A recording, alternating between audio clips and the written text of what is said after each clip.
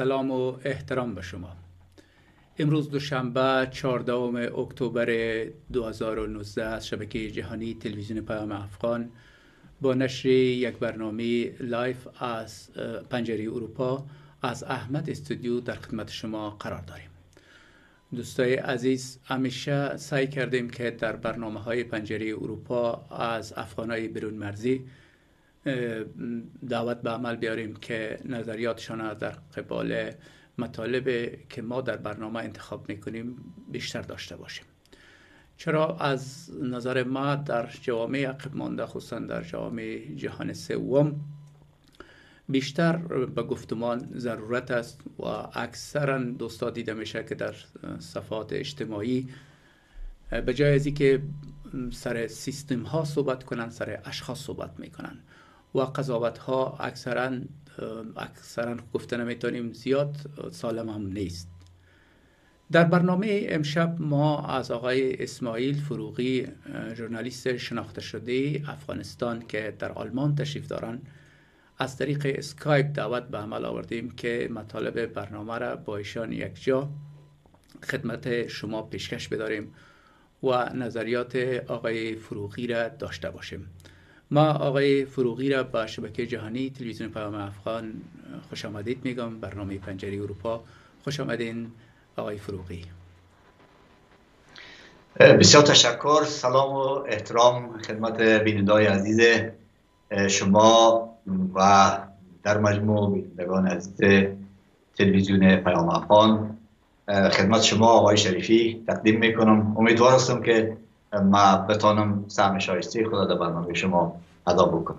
تشکر. از شما. از دعوتتان بیندای عزیز آقای فروغی تجربیات بسیار خوب و طولانی در کار ژورنالیستیکی داره هم در کار رادیو هم در کار ژورنالیست داخل ژورنالیستیکی داخل افغانستان و هم در رسانه های برون مرزی به همین بهانه ما موضوع اول برنامه را از 15 سالگی یکی از تلویزیون های بسیار برجسته افغانستان که تلویزیون طلو مدت دو سه روز قبل 15 سالگی خود تجلیل کرد. ابتدا ما هم برشان تبریک و تهنیت میگیم.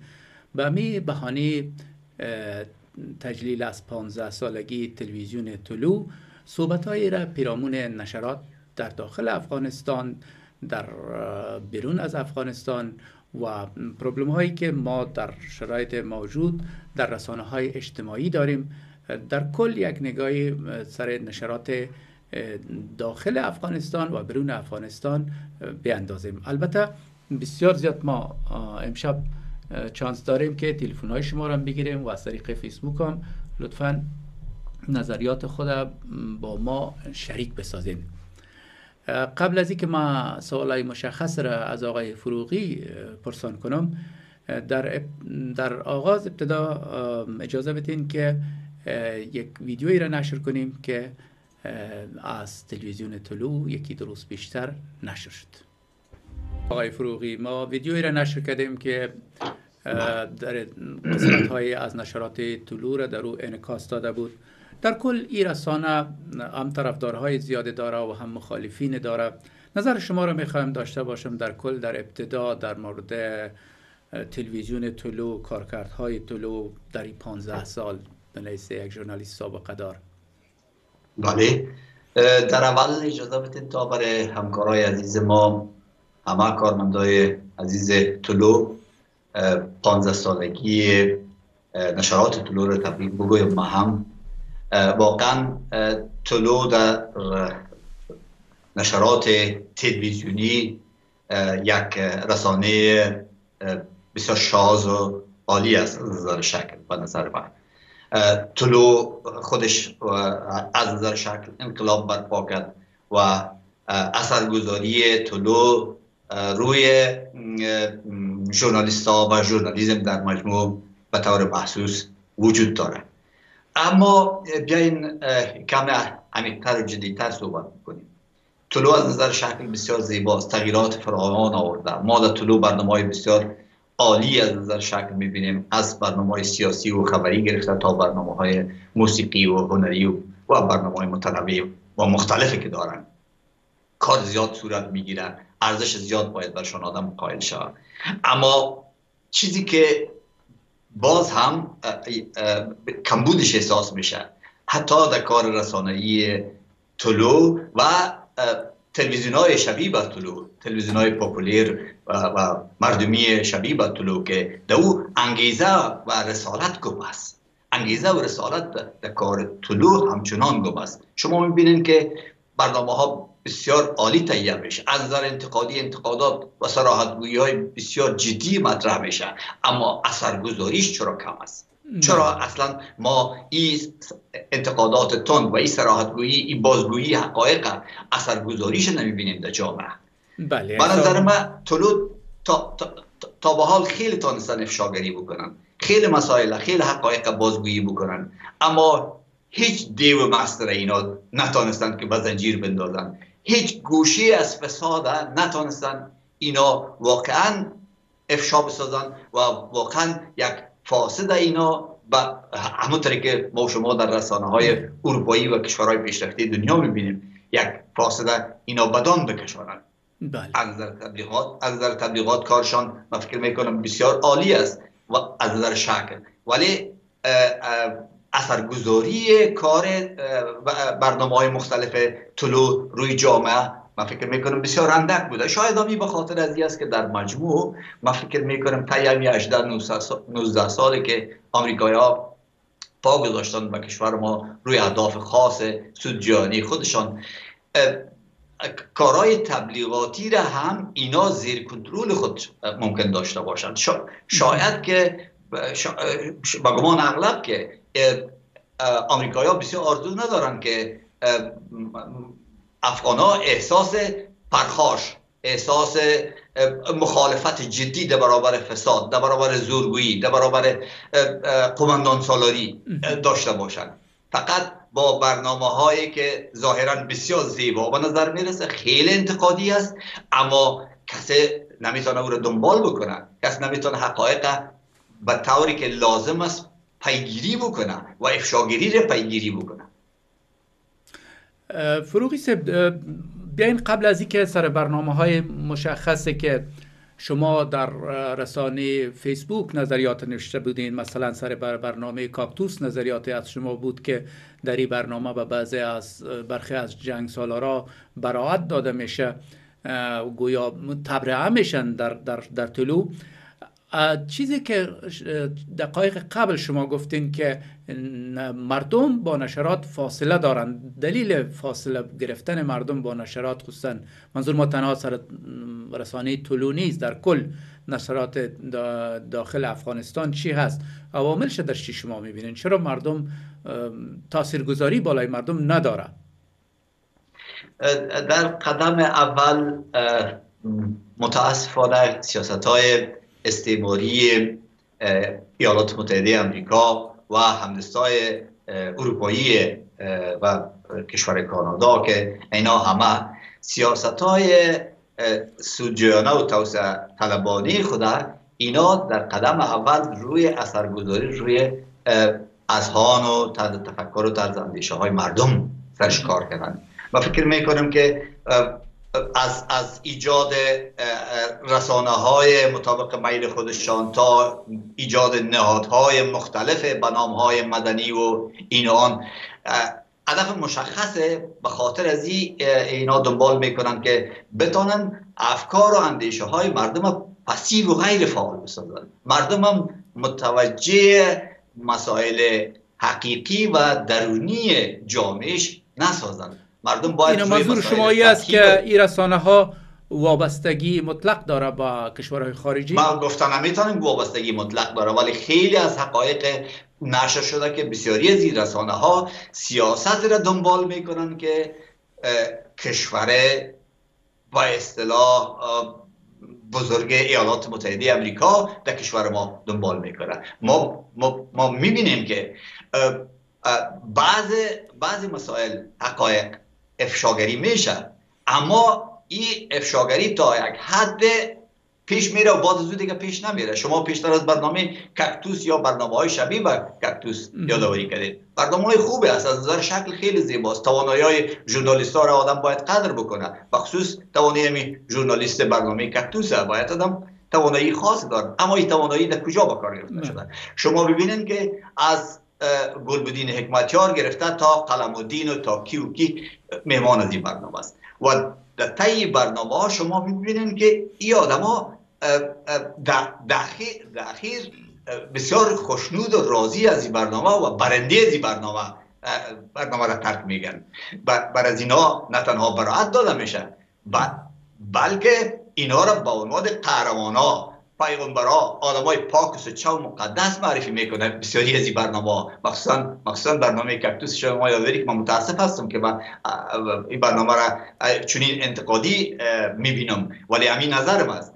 شما می‌بینید که از آدمایی که تمام ملت در مورد از اینا انتقاد داره و خاطرات بسیار بد و زشت داره از اینا از این آدما تقریبا آدمای مقدس از این برنامه بیرون میشه با خنده باش. خب او میگه که ما هیچ دست ما با خون یک فردم آلوده نشده و هیچ کس نیست بپرسه خیلی 2500 راکت داده یک روز کی فیر می‌کرد از چهار آسیا. باید اینو تو اگه پیش برن باز در صورت می‌تونه آدم بگوی که این برنامه خب ماخذه نه نه به شکل سارنوال کسی ماخذه بکنه. ژورنالیست حق نداره مثل سارنوال برخورد بکنه. ولی ژورنالیست حق داره که حقایق را که می‌فهمه او را برای کسی که برای مصاحبه دعوت کرده برای او بگوید. لحاظا برنامه بسیار از نظر شکل زیباست ببخشین آقای فروغی همینجا برای از اینکه توضیح داده شود. شما ایرا عدم مهارت ژورنالیستیکی می‌دانین که ناتوانی های مجری برنامه می‌دانین یا ایرا اتر میگن دکته شده که بر از اینا گویا من هستم که اگر اتو قضاوت بکنم آدم نمی‌تونه حکم بکنه. اما در استراتژی در استراتژی تبلیغاتی برنامه ها چون این چیز من فکر می‌کنم نافته باشه که گلبینی حکمتیار یا مولوی قلم الدین تا اینمی حدود باید ازش پرسان شود. بیشتر از این پیش نره در غیر از چی می‌تونه آدم تصور بکنه؟ ولی ژورنالیست ها آزاد است. ده ها سوال در ذهن آدم میگرده ما باعث بیننده که در ذهن ما میگرده که گلبدین حکمتیار جوابگوی این مسئله جوابگوی آن مسئله. و ده ها گپ است. طبعا ژورنالیست که مسلکش است. او, او خیلی سوال در ذهن خودت من داره. ولی ما فکر نمی کنم که ژورنالیست برش اینقدر بال پر بتن که آزادانه پرواز می‌کنه شما حتی مصاحبه رئیس جمهور اشرف غنی را آقای اشرف غنی را با نجفی زاده او را پلان شده فکر می‌کنین مصاحبه که دو ماه پیشتر داشتن در تلویزیون طلو نظر شما در مورد مشخص همین مصاحبه چی است؟ مصاحبه از نظر فنی بسیار هنرمندانه است. ما چنانچه نظر خود قبلا در جای دیگه هم گفتیم. استعداد آقای نجف زاده هم من یک ژورنالیست یک مصاحبه کننده گرداننده تلویزیون بسیار قابل قدر است. اما ما بجز از اینکه اونمون نظر خود تکرار بکنیم که آقای نجفی زاده هم تا یک حدود پیش میرد در برابر آقای رئیس جمهور محترم اشرف غنی. بیشتر از پیش نمیره. خیلی فاکتا درباره کارکردهای پنج سال حکومت وحدت ملی و طور هست جناب رئیس جمهور وجود داره. این فاکتور را یقین که آقای نجفی زاده ازش آگاهی بیشتر از همه ما و شما داره. اما می‌بینین که هیچ یک از اون فاکتور استفاده نمی‌کنه. بله. تقریبا تقریبا تسلیم گپ آقای فقط گفته مردم تری به طرف رئیس جمهور می‌بینه. فهمیده میشه که در درون دل خود می‌خواهد گپایی را ازش بپرسه یا گپایی را نفیه بکنه. اما آقای رئیس جمهور تقریبا هیچ چیز نمیگه. فقط سیل می‌کنه طرفش. ولی ولی ما از اون از اون سیل کردنایش ما بر خود همین توجیه پیدا کردیم. از این سیل کردنایش آرام خاموش است. می‌بینه آدم می‌فهمه که دیگه چقدر ما در برابر دروغ ها و افتراعات خود چی بگویم چه رقم می‌تونم این رد بکنم متاسف هستم که چون این چیز وجود داره در نشرات همین سه چهار تلویزیونی که بسیار مشهور شده آدم بله. می‌بینن و این تاثیر شما, شما می‌بینن که چرا در جامعه ما مثل جامعه دیگه حداقل احساس پرخاش وجود نداره بله. فساد جامعه را پر کرده آدم کشی همونطوری که رئیس جمهور خودش اعتراف می‌کنه تا صد نفر روزانه کشته میشه. سربازای ما هر روز و ما بین قشله هایشان علیشان توته صورت می‌گیره کشته میشه. پارک بازی و گروه بازی و قمپرستی در اوج خود رسیده. برنامه های وجود داره در زمینه. اما تاثیرات از این کاملا صفر است. برابر به صفر است. هیچ چیز هیچ مردم فقط هیچ نوع احساس نداشته باشند. مردم فقط بگوین که اینا تریاک داده شدن برشان. مردم هیچ سم نمی‌گیره. تا زمانی که یک خدا نکنه یک راکت در خانه خود ما انفجار نکنه از همسایه ما زیید سید درک نمی‌تونیم بکنیم که بسیار زیاد شده راستی بله به تفاوت شده منتها. این ما فکر می‌کنم اول کار کردن. در طی همین 19 سال با فکر می‌کنم از آغاز این روزهایش وقتی خواستن که کار جریان داره تازه شروع شده. تازه شروع شده قراردادهای مادن. یا به شکل قرارداد یا علنی یا مخفی تازه شروع شده و این ما فکر نمی کنیم که به سادگی پایان بیافته. ای از ابتدا پلان شده بود. اول ما را باید خونسا بسازن به اصطلاح ما را به اثر بسازن اول ما را به تفاوت بسازن که فقط امروز بچه بچه افغان بیشتر به فکر است که چطور زودتر انگلیسی بیاموزه. خب کار خوب است. انگلیسی بیاموزه. چطور زودتر در یک ماسته خارجی کار پیدا بکنه بزرگترین آرزویش اینه که یک ماسته خارجی زود کار پیدا بکنه و چطور زودتر امرار معاش بکنه امرار معاش کار خوب است. ولی جامعه دیگر آدم می‌بینه که در جامعه دیگر مثلا امی عراق چند روز پیش ما شما دیدیم که فقط در اونجا رشوهخوری و قوم قوم پرستی گروه پرستی وجود داره. قوم پرستی هم تا حدود نه مثل کشور ماوری. دیدن که مردم با چی جانفشانی می‌خواهند که تغییر بیارن. میگه کمتر از استعفای رئیس جمهور یا صدر ما نمی‌خواهیم. کمتر از تغییر در کابینه یا کابینه نو ما نمی‌خواهیم. مردم پرخاش می‌کنه ولی ما هیچ پرخاش یاد نداریم. به خاطر از اینکه بر ما خب امی وسایل اطلاعات جمعی که در اونجا کار می‌کنه واقعا اون که پیشتر شما گفتین تا یک جای پیش بره بازد استاد میشه یاد نمیته که ما دیگه کجا را انتقاد تا کجا ببریم تشکر بیننده عزیز در برنامه گذشته ما صحبت هایی که با آقای وحید الله وحید داشتیم انتقادات فراوان رسید که چرا ما تلفن را نگرفتیم این برنامه باز از شما می‌تونین زنگ بزنین یا سوالات خود از طریق فیسبوک مطرح کنین در مورد اظهارات آقای فروغی شما چی نظر دارین؟ در مورد رسانه های داخل افغانستان چی نظر دارین؟ در برون از افغانستان یک فرصت نیک است که شما نظریات خود با ما و هموطن های عزیز خود شریک بسازین. خب آقای فروغی یک اصلی که عجیب و غریب در افغانستان انکشاف به اصطلاح منفی کرده بازم آزادی یا دموکراسی مطبوعات است که بسیار به یک شکل نادرستش در داخل افغانستان ازش استفاده میشه و نه تنها در رسانه های اجتماعی که حتی در برنامه های بسیار معتبرم گپ به دو دشنام رسیده است.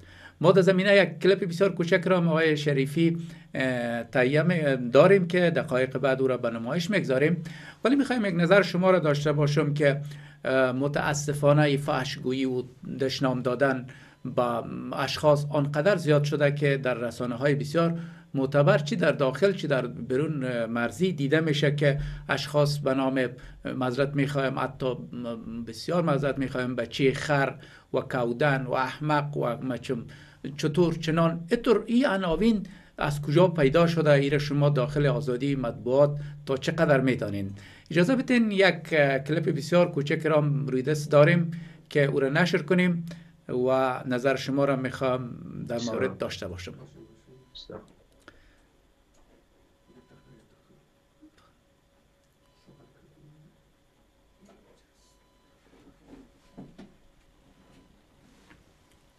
می‌کنم که سخنانشان را ارائه کنم به افتخارشان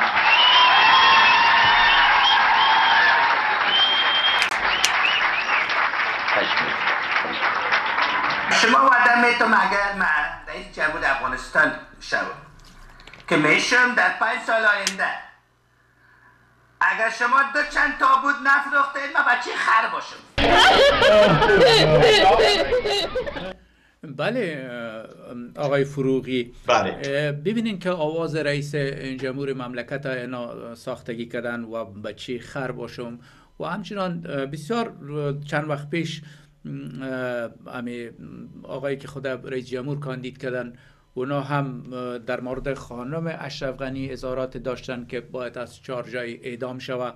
در مورد این دشنام ها نظر شما چی هست شما چی لقب برش میتین و هم در گذشته چگونه بود؟ در زمانی که شما ما شما در رادیو بله. بودیم یک مقایسه اگر کنین. بله. و متوجه هستم شما چی, چی می‌خواین.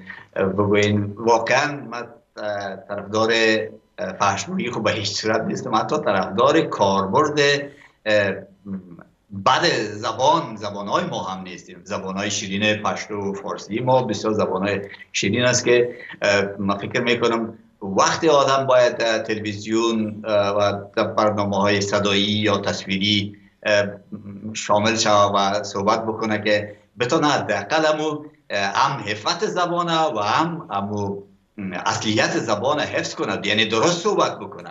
بله. ما, ما, حق نداریم که زبان خود مخصوصا وقتی که در محضر عام قرار میتیم و می‌خوایم از استفاده ببریم بسیار خراب استفاده بکنیم و وقتی که نمی‌تونیم درست صحبت بکنیم بهتر است که کم صحبت بکنیم. ضرور نیست که ما زیاد جر بحث بکنیم و زبان شیرین پشتو یا فارسی خود به طرز نادرست و پر از اشتباه به کار بگیریم چه رسد به ای که فحش متاسفانه نه تنها که امی که شما کلیپ نشر کردید در چنین موارد حتی برخی برنامه های تلویزیونی مخصوصا برون مرزی بسیار کلمات زشت و تند ازش استفاده میشه که از نظر فنی و مسلکی بسیار بعد از و ترویج میشه. کلمات زشت و تند فقط شاید بسیار کم موقع چی ما داشته باشیم اجازه استفاده داشته باشیم که در کدام موارد آدم نمی‌تونه بفهمه. شاید اگر کدام داستان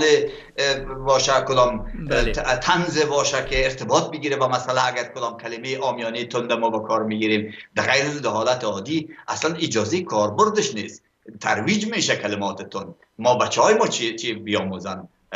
نواسه ها و اولادای ما چگونه بیاموزن وقتی کلمات تند کلمات تند رایج هم نیست. شما می‌فهمین که در زمانی با وجود که یک تلویزیون یا یک رادیو بود زمانی که ما شما با هم کار می‌کردیم. ولی در اونجا یک مقررات و یک بله. قواعد وجود داشت برای برای استفاده از زبان. لحجه معیاری بود بله. بله اداره وجود داشت که در اونجا قیودات وجود داشت که تا او قیودات شما مراعات نمی‌کردید. اصلا نمی‌تونست صدای شما از رادیو یا از تلویزیون پخش و در اونجا اول یاد می‌گرفتیم می که چگونه, چگونه باید کدام برنامه چگونه باید خوانده شود در کدام برنامه چگونه باید آدم صحبت بکنه کدام لحجه ازش استفاده صورت بگیره. ما طرفدار از این نیستم. حتی در بعض برنامه های کمدی که از تلویزیون های ما پخش میشم تلویزیون های داخل مملکت و بعض برنامه های جدی که از بیرون مملکت پخش میشه. ما طرفدار از این نیستم که بسیار کلمات زشت و تنده که ایجاب نمی‌کنه و زبان بسیار زیباییش از بین می‌بره استفاده شود. تشکر آقای اجازه بتین یک بیننده هم روی خط داریم. بفرمایید خود معرفی کنین چی سوال داشتین شما. باز خدمت شما و تمام هموطنان ما و مهمان محترمتون. بله. احمد فرید هستم از بریتانیا مزاحم شما میشم بله سه جان بفرمایید تشکر زنده باشین در قسمت اول از جمله انتقاد کنندگان هستم راجع به برنامه قبلی شما که آقای وحید وحیدلا را بله دعوت کرده بودین اگر تلفن ها باز نباشه آدم درست میگن بله ات فکر می‌کنه که برنامه پلان شده می باشه و تحمیل نظراتش به همه تو یک تفاهم ایجاد میشه بله و انتقادات زیاد بود راجع به وحید وحیدالله اما با تاسف نتونستیم البته من سوال داشتم از میمان محترم شما چون ابراز نظر که اینا دارن تمامش گمان زنی هاست به گمان ما و گمان ما اترو اگر تحلیل داشته باشن در مجموع بله. از آزادی رسانه ها در افغانستان مثلا اینا گفتن که آزادی سوال وجود نداره و تقریبا اینا خوش ندارن که نطاق به مستنطق سوالات پرسان کنن از مجاب پروگرام. بله. و ما شاید از این بودیم که در قسمت های آخر سوال های مطرح شد از گلبودین یک مچار مثلا قصاب کابل جنگ کابل و غیره و غیره. آیا از جمله دستاوردها شده. نمی‌تونه که فیاض مسیر فیاض فکر کنم که نام نطاق بود این سوالات مطرح ساختن و در قسمت از اینا یادآوری کردن محترم اشرف غنی. ما خواستم بدانم که اگر همون سوالاتی که مطرح نشده باشه به گمان از اینا که اینا نطاقا باید مطرح کنن از شعرهای سیاسی. او کدام سوال خواهد بود و ضمن امی محترم بودن اشرف خانی از نظر اینا به چی ترتیب بوده و چرا لفظ محترم به ایشان نظر به کارهای کردن خطاب ببخشید بخش اول سوال شما که مربوط آقای فروغی میشه او را حتما پاسخ میگن. اما اطور است که در منظور به این است که اگر ما سر یک شخص انتقاد می‌کنیم باید دشنام برش نتیم و با الفاظ نادرست ازش یاد نکنیم. آخر یک رئیس جمهور یک مملکت است. در هیچ کشور ایتر رایج نیست قسمی که در افغانستان است که چنین القاب به یک رئیس جمهور بتن. انتقاد حق کلگی هست. حالا ما از آقای فروغی خواهش می‌کنم که بیشتر با قسمت اول سوال شما پاسخ بتن که اینا حتما سوال شما را شنیدن. آقای فروغی بفرمایید. بسیار تشکر می‌کنم از جناب محترم که لطف کردن پرسشان مطرح کردن. با اول خب کلمه محترم با کاربرد کلمه محترم لطفا نگیرین از ما. خیر است. با وجودی که شاید بیشترین انتقادم مخصوصا در رسانه های مثل فیسبوک و بعض صفحه های اینترنتی من نوشته کرده باشم بعض جناب رئیس جمهور محمد اشرف غنی. ولی به هر صورت وقتی که شما انتقاد می‌کنید یا به آلیانس متحد می‌کنیم که ضرورت نیست که ما حتما با زشتی و با دشنام نامشان ببریم.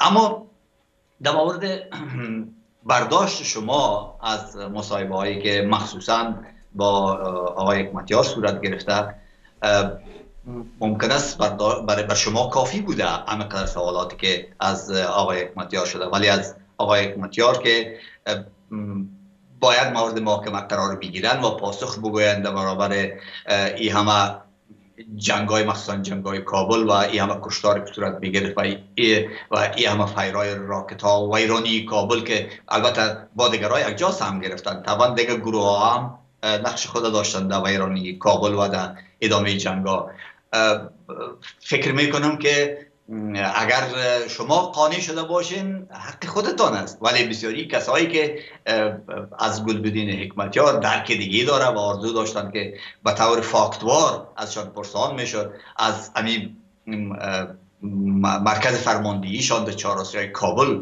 باید یادآوری می‌شد. از تمام راکت هایی که به طور مستند وجود داره راکت هایی که از امو سمت فیر شده و در روز تا 2500 راکت هم از امو فیر شده و طور مشخص بدون ترس باید پرسان می‌شد. و, و در رابطه به سیاست های امروزی آقای حکمتیار. اصلا آقای, آقای حکمتیار هیچ مورد انتقاد تقریبا قرار نمی‌گیره. فقط یادآوری میشه. اما از سر قضیه جدی که آل فکر می‌کنی که این حال ممکن است مسئله که در ذهن خودت است که باید اینال مطرح شد ولی اون مسئله مطرح نمیشه. خیز می‌زنن. و یک مسئله عادی دیگر مطرح می‌کنه که باز آرام میشه و باز دوباره یک کم یک کم انتقادی سوالات های انتقادی صورت می‌گیره ما بسیار این آدمایی که بیشتر باید مورد مؤاخذه و پرسان قرار می‌گیرن از نظر برای من قانع کننده نبوده شخصا. برای شما قانع کننده بوده من, من حرف ندارم. حق شماست. آقای احمد ولی احمدی در فیسبوک یک سوال مطرح کردن ولی مقصد سوالشان امی هست که از نظر شما در رژیم های گذشته خصوصا در, در رژیم کارمل و دکتر نجیب شیوه انتقاد و انتقاد از رسانه ها و آزادی بیان خواستند بپرسن از شما. یک فرق خواستن یک مقایسه کنند. که آیا می‌گفتن در او وقتی کسی حق داشت که انتقاد کنه یا چیزی بگوید که چرا قوای شورایی را به افغانستان دعوت نموده اید و همینطور چند مثال ارائه کردن. چون در فیسبوک سوال مطرح کردن سوالشان خواندن بله بله. خب رژیم های تک توتالیتر طبعا در اوجه اصلا انتقاد دموکراسی وجود نداره و شما شاهد هستین ما شما تاریخ زنده هستیم که همچنان در رژیم که حزب دموکراتیک خلق افغانستان مسلط بود.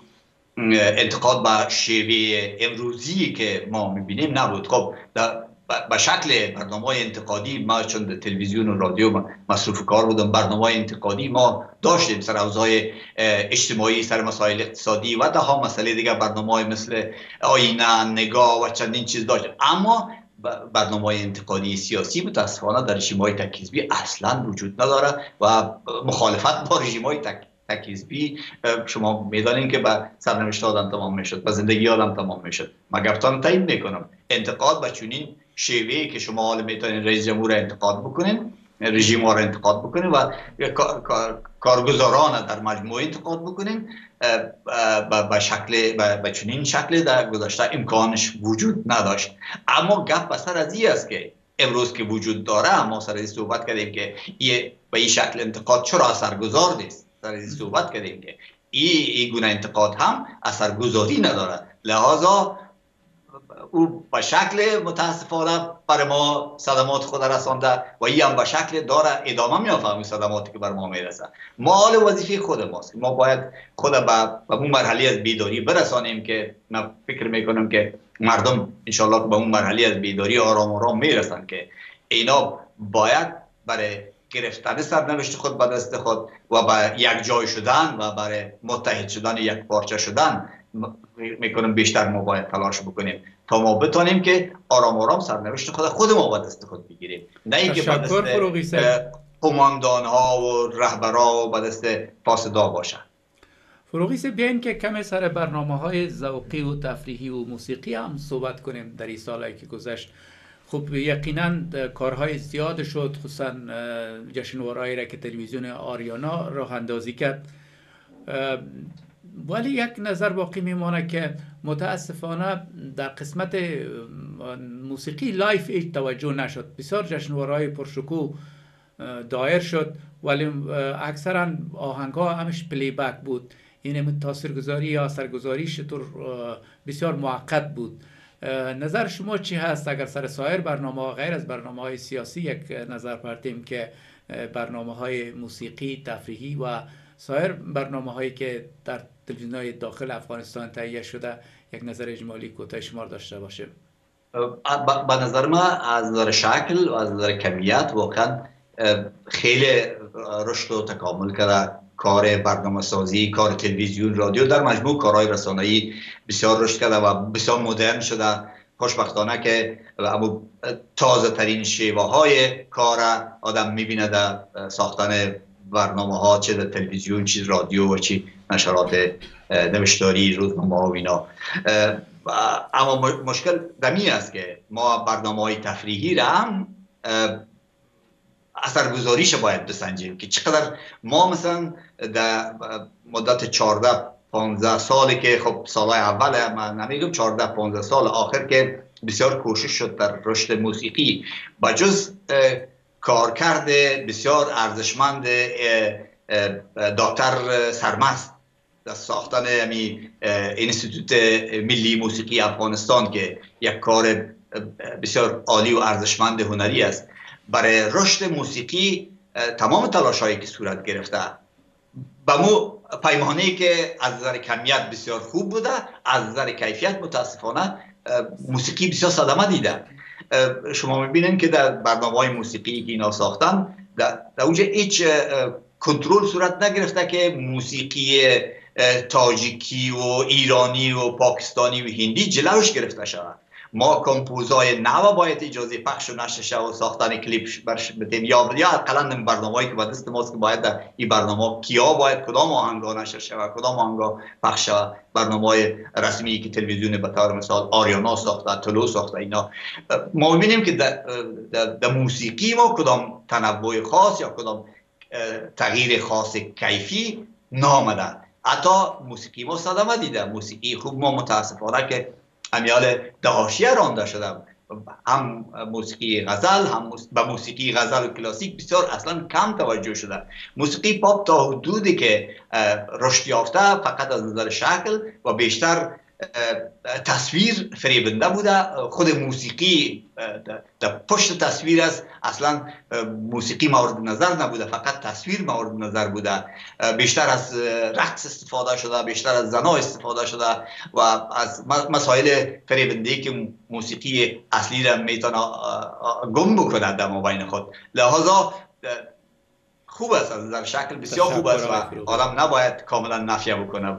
اولی از نظر محتوا و از نظر کیفیت مثل دیگر کارا موسیقی ما هم متاسفانه از رشد اصلیش از رشد کیفیش باز مانده. تشکر.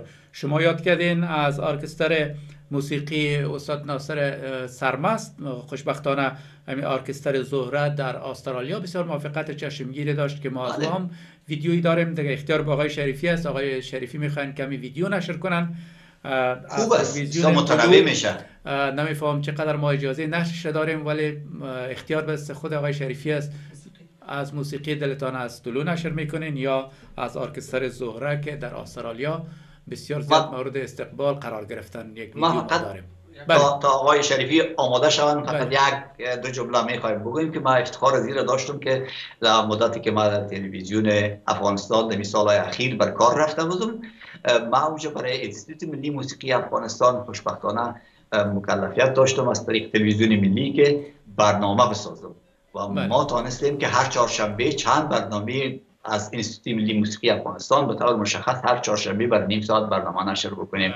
و در اونجا خیلی استعدادهای بزرگ آدم می‌بینه. و فکر می‌کنم که آینده موسیقی کشور هرگاه با چنین مواظبت که همی اکنون ازش صورت می‌گیره در انستیتوت ملی موسیقی افغانستان انشالله که به این تیرگی نیست درخشان است. تشکر بفرمایید به این شما روی خط هستید جناب آریان صاحب خدمت شما سلام و احترامات میرسانم. سلام و احترام به شما خدا معرفی کنین. من اقبال هستم از همین آلمان خدمت شما بفرمایید.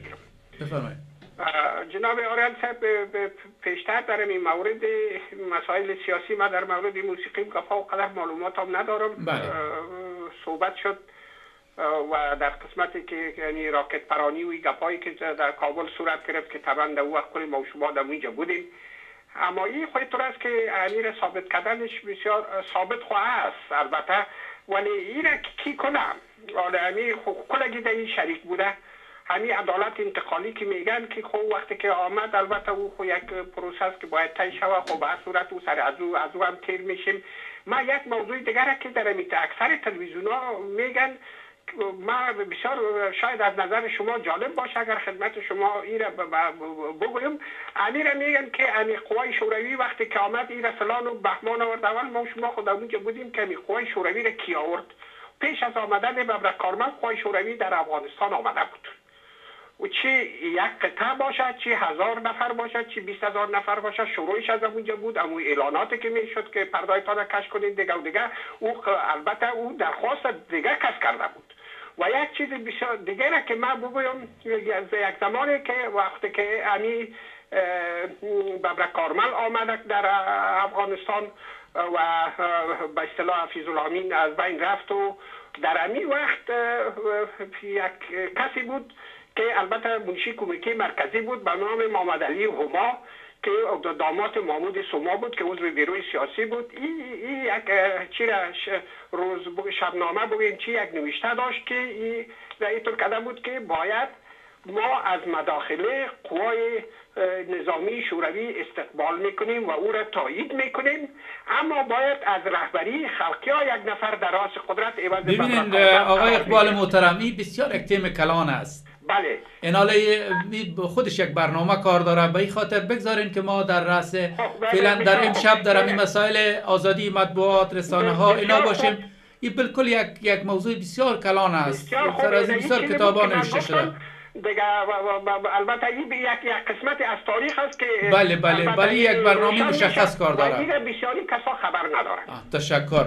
خب آقای شریفی شما چی دارین روی دست؟ از ارکستر زهره یا از بفرمایید.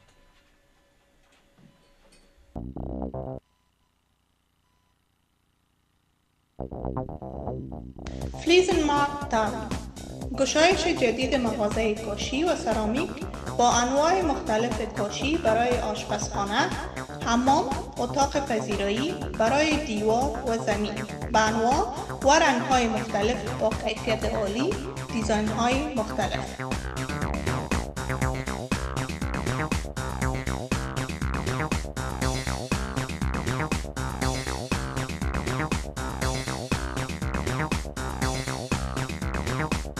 همچنان اضافه بر اجناس داخل مغازه سفارشات اختصاصی شما از کشور ترکیه و ایران در اسرع وقت آماده می گردد.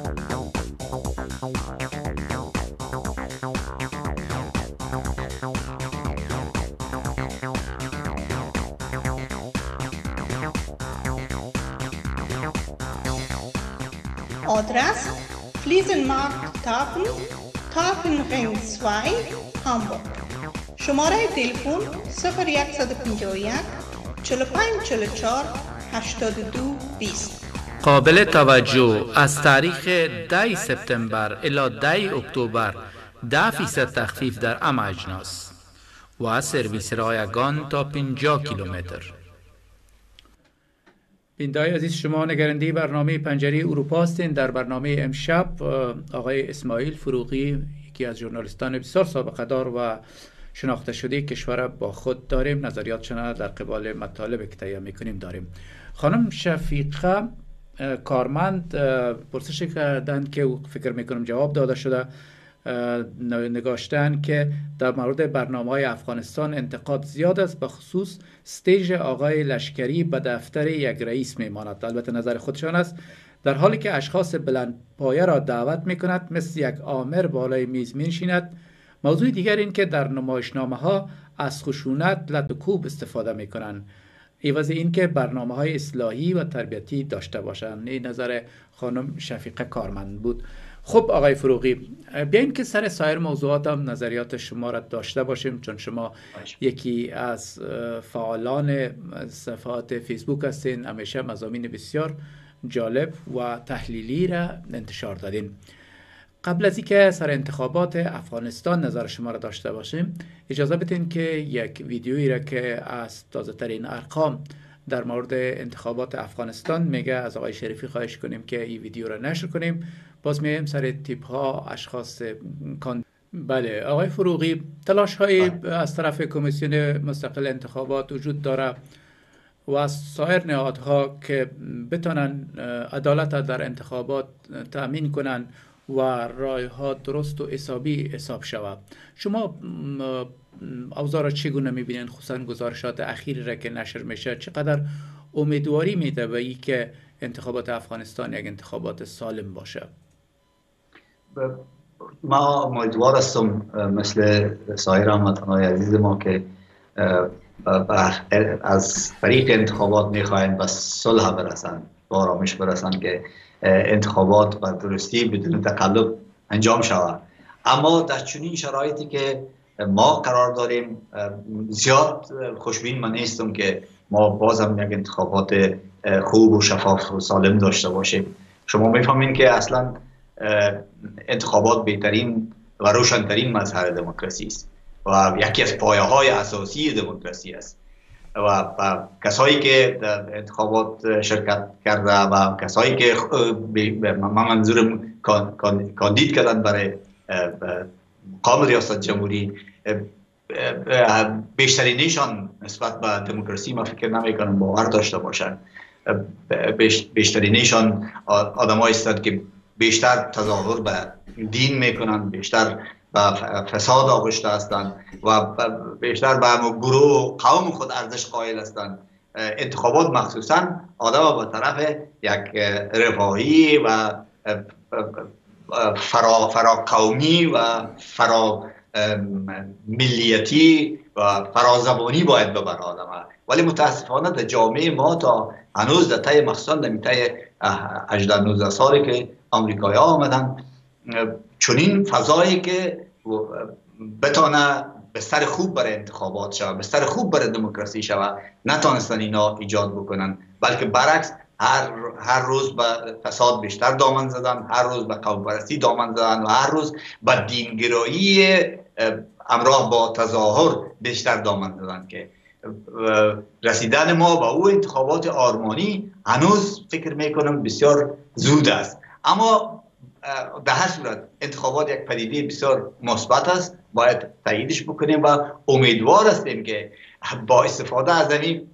روش بایومتریک یا استفاده از این تکنیکی که ما بسیار باور ندارم که امی, امی تکنیک هم ما را بتونه کمک بکنه. برای, برای اینکه اول ما باید اندیشه ها و باورهای برای دموکراسی و انتخابات پیدا بکنیم. بعد از اینکه باور به انتخابات و باور به دموکراسی پیدا کردیم ضرورت به دستگاه های بایومتریک نیست. ولی تا زمانی که باور نباشه شما می‌بینید که دمو خوبترین کاندیدایی که شاید در جمله بر امکانات برنده شدن از اینا وجود داشته باشه که جناب اشرف و جناب عبدالله عبدالله و آقای حکمتیار است به طور مثال.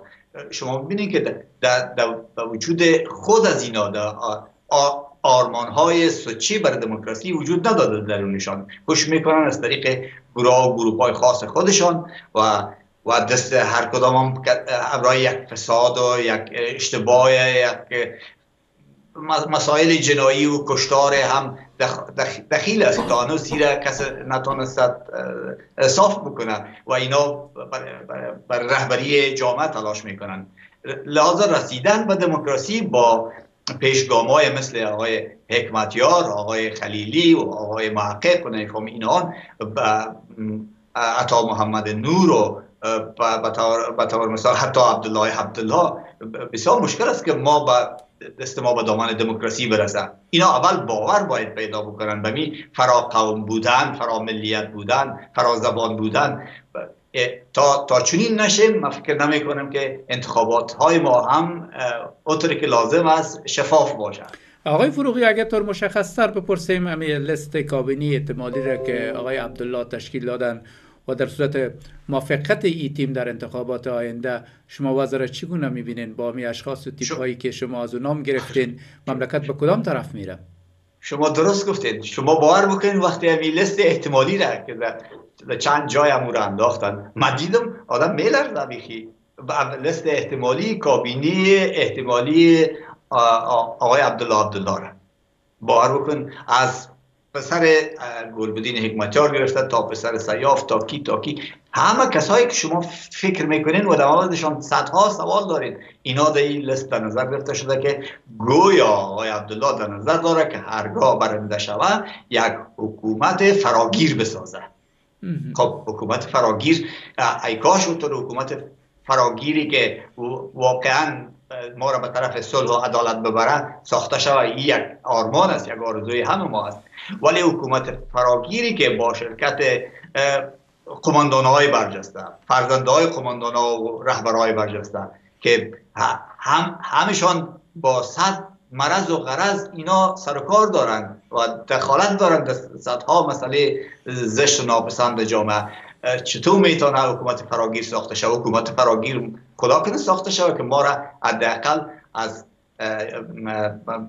درد و رنج جنگ جدا بسازه خدا کنه که طالبا هم آماده شود و بیاین به صلح بپیوندن به حکومت بپیوندن ساخته شود که حداقل این صلح بیاین باز بعدا در آوردن تغییرات گام های بعدی است. ولی حکومت حکومت فراگیری که با شرکت قماندان ها و فرزندان های قماندان با شرکت رهبرا و گروه های فاسد ساخته شد من فکر نمی کنم که بازم ما را به طرف فقط زمینی استفاده جویی بیشتر کشور ما را برای کشورهای خارجی این حکومت فراگیر مساعد می حکومت فراگیری که از دل مردم نخواسته باشه حکومت فراگیری که واقعا توسط یک انتخابات شفاف و برای مردم اولا همین تعداد شرکت کننده های انتخابات بسیار کم است. شما چطور می‌تونید از 35 میلیون نفوس که دو میلیون نمایندگی بکنید بسیار مشکل است. خود این مورد سوال است. شما چطور می‌تونید 50 تا 60 فیصد کشورتان زیر تسلط طالباز مردم شرکت نکرده در انتخابات؟ چطور می‌تونید از مردم نمایندگی بکنه این انتخابات؟ خود از این کلش سوالایی است که بسیار کلان باید روش گذاشته شود و شف... شف... هم شفافیت و هم تاثیرات حکومت آینده روی صلح و عدالت و خوشبختی مردم زیر سوال می‌بره تشکر و یک کوتاه هم نظر در مورد تبلیغات تبلیغات و یا اظهارات آقای اکمتیار که خواستن در در شمال افغانستان از استقبال مردم زیاد سخن گفت و از کمپاین انتخاباتی خود مکتب سری کوتاه در این مورد هم داشته باشیم. باور بکنید که آقای اکمتیار در مورد سفرشان بر شمال بسیار مبالغه صحبت می‌کنن. درک من است که ممکن است زمینی چونین استقبال بر آقای اکمتیار بسیار خوب توسط سازمان های استخباراتی بیرونی برش مساعد ساخته شده باشد. آقای اکمتیار بخواین نخواین او پروژه خبیسانه انتقال جنگ به شمال از وزیرستان و از جنوب افغانستان و شرق افغانستان به شمال. چرا؟ در کشور ما متاسفانه در جنوب و شرق بازم باقی میمانه ولی از وزیرستان پاکستانی ها می‌خواهند که جنگ انتقال بتن به شمال افغانستان تا به اهداف توسط طلبانه دیگه. کشورهای مثل امریکا و انگلیس اینا اینا در چین و روسیه و کشورهای آسیای مانه و آسیای میانه و ایران اینا برسند آقای اکمتیار جز پروژه می‌تونه باشد این رقم که آقای اکمتیار تشریح میدن که به هزاران هزاران هزاران ده هزار گاگای گفته حتی در یک مصاحبه خود نفر آمده بر استقبالشان و برشان کف زده. خودش سوال برانگیز است که آقای اکمتیار برش چطور طور یک زمینی مسئول سفر مسئول و اشتراک مسئول مساعد ساخته میشه. برای آقای حکمتیار شاید برای خودشان بسیار یک چیز جالب و ارزشمند باشه که همیشه در تمام مصاحبه های خود از او یادآوری می‌کنن. ولی برای دیگرها برای ژورنالیست ها و برای کسایی که تحلیل و تفسیر مسائل بیشتر به دنبالش هستند برای اونها یک خودش یک پرسش است که آقای حکمتیار مبادا که آقای حکمتیار جزء پروژه امو خبیسانه توسعه طلبی توسعه طلبانه پاکستان و آمریکا که انتقال جنگ در شمال است جز از او پروژه باشه. تشکر آقای فروغی. خب اجازه بتین یک آگاهی پخش می‌کنیم برمیگردیم با یک مطلب مهم دیگه که خارج از افغانستان است هم نظر شما را می‌خوایم داشته باشه لیلام بزرگ فروشگاه های موبل کانفور در الستن بیگ غوز اون گول در آمبور بلشته گولد پکر اتاق خواب مکمل با توشک سیت مکمل اتاق تعام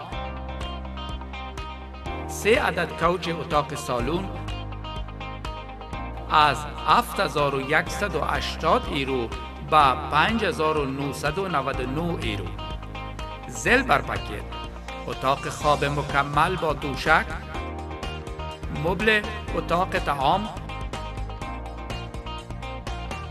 سه عدد مبل اتاق سالون از 7330 ایرو به 4999 ایرو.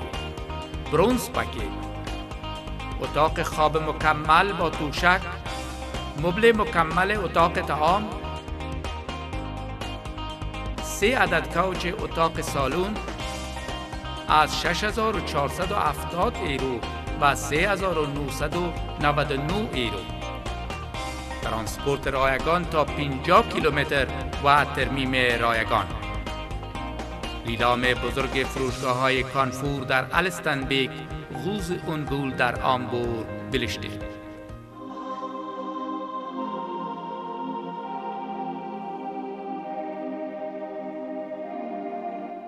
کابل.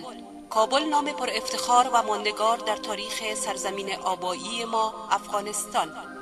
هموطنان عزیز رستوران کابل در قلب شهر زیبای هامبورگ همروزه با سرویس غذاهای لذیذ و متنوع افغانی به شکل بوفیت با کارکنان مجرب از شما با گرمی و با فضای افغانی پذیرایی می کنند. همچنان کابل رستورانت هر نوع فرمایشات شما را در شهر هامبورگ و هر کشور اروپایی که خواسته باشید با جبین گشاده میپذیرند. آدرس ما اشتایندام شماره 53 شماره تلفن 040 28 00 67 80 بله آقای فروغی مطلب اخیری را که با شما می‌خوایم مطلب سازم حمله ناگهانی ایالات متحده ببخشین ترکیه با سردات شمالی سوریه با کردها می باشه که دفعتا یادسه صورت گرفت و در پی از او اظهارات آقای ترامپ. البته در قسمت امروز که اظهارات داشتن که تمامی اساکر آمریکا را در حدود هزار نفر از سوریه می‌خواه اخراج کنه. در حقیقت امی عمله ترکیه با کردها و موقفگیری ایالات متحده آمریکا در قبال این موضوع این میشه که درس های شوه برای افغانستان هم که در روز مبادا چه پیامدهای با افغانستان داشته باشه؟ آیا همچو حوادث مشابه در افغانستان هم صورت خواد گرفت یا خیر؟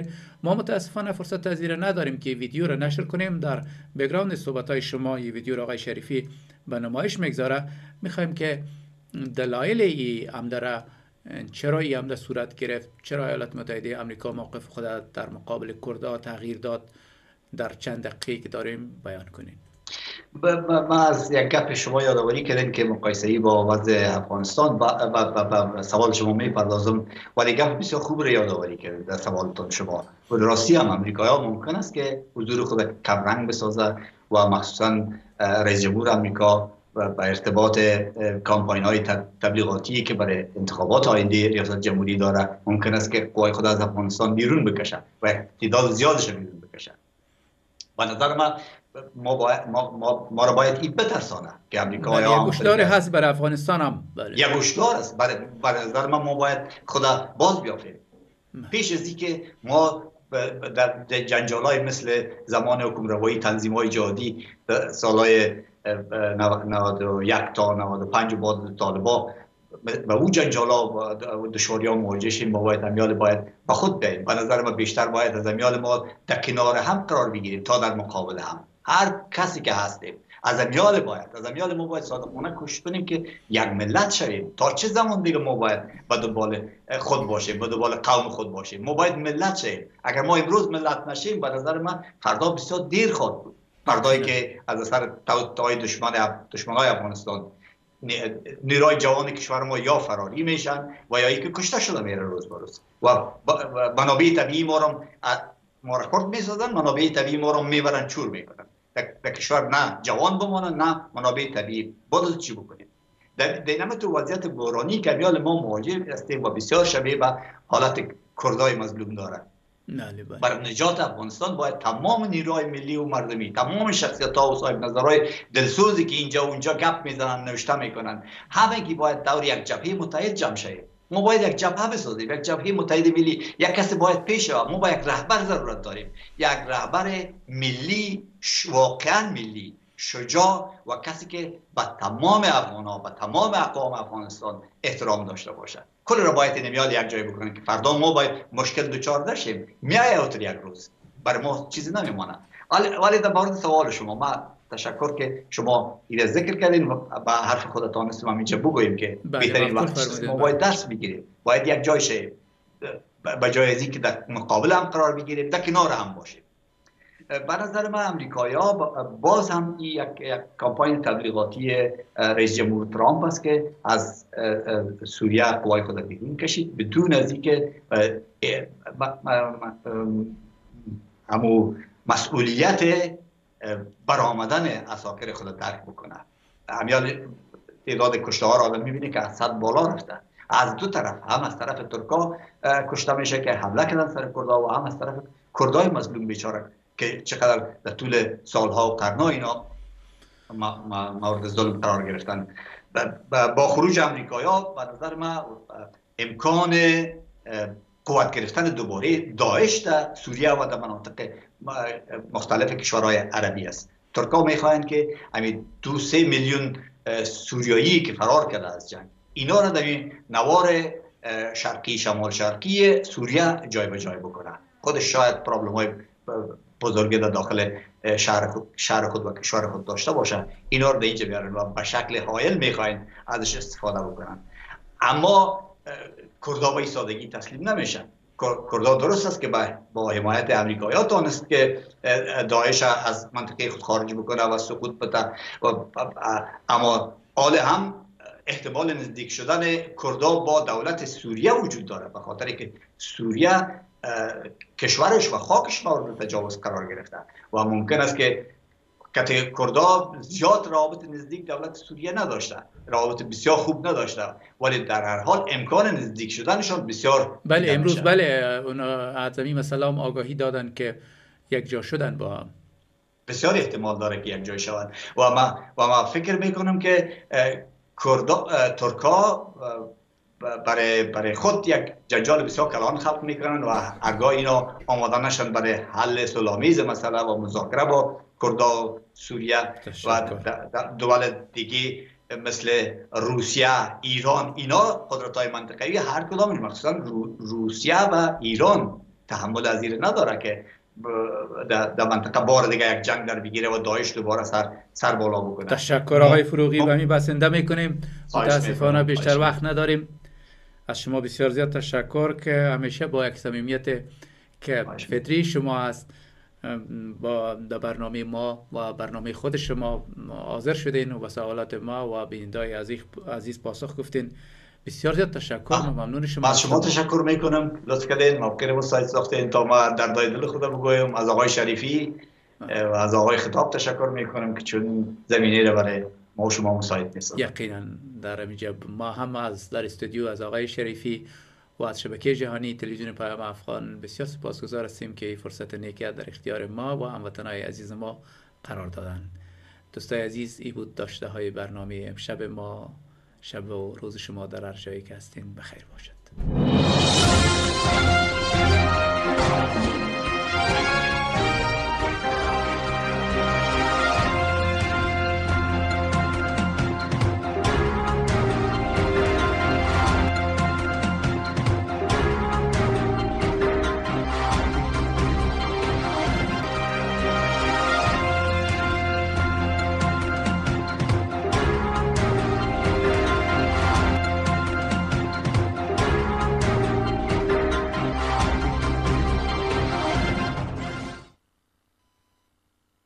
خدا بسیار با انرژی صحبت کردین. خواهش می‌کنم. تشکر. دین شما شما شما بسیار خوب خوب گرم میساختین آدم والا آفرین تان در کل